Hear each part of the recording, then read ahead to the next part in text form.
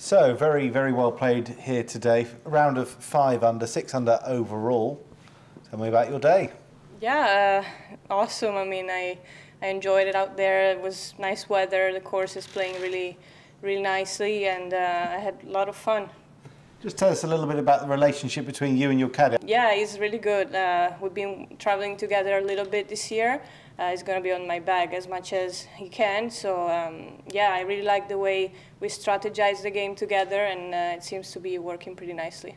Yeah, you really seem to be working as a team, but I guess you always have the final say over a shot. Yeah, like I obviously um, think about, like, think things through with him, but, um, you know, I'm the one hitting the ball, so whatever I like better is going to be the decision. But uh, oftentimes we see things pretty clearly, like in the same way. So it's nice.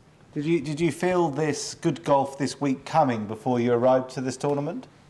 Um, let's say that my game is going towards the right direction. I, am always like playing pretty nicely, and uh, so I expected expected is a big word, but I felt comfortable uh, swinging, putting, chipping, anything was fine.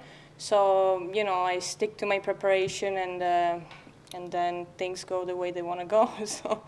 And talking of expected, what do you expect tomorrow? Obviously, it'll be the biggest day or round in your short career so far, so there's be a lot to take in.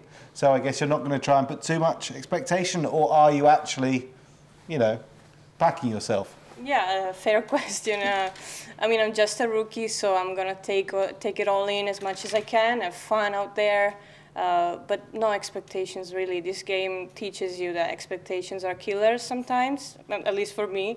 So I'm just gonna stick to my plan and and have the best day I can. You know. Well, let's see what happens. Well done. Thank you. Thank you so much.